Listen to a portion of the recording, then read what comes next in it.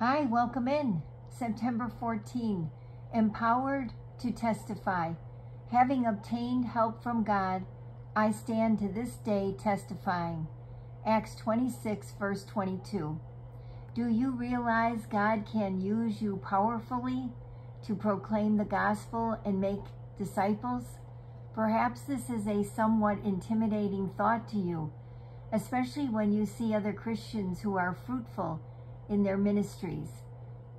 But understand that the effectiveness of the gospel isn't about human talent, personality, or skill. Rather, it's about the power of God working through you. This is why an effective ministry depends on a complete reliance upon the power of the Holy Spirit.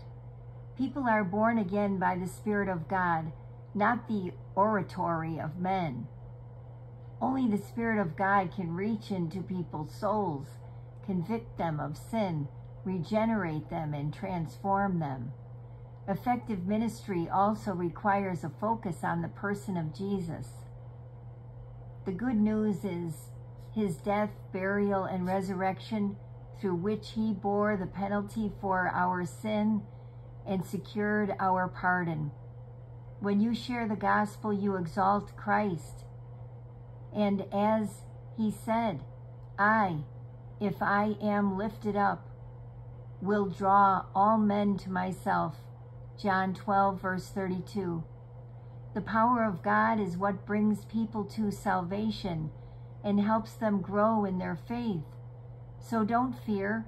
Trust in Him to empower you and to lead others to know Him through you. Jesus, I exalt you. Help me to testify about you effectively. Amen. My hope is in Jesus because he, he empowers me to glorify him.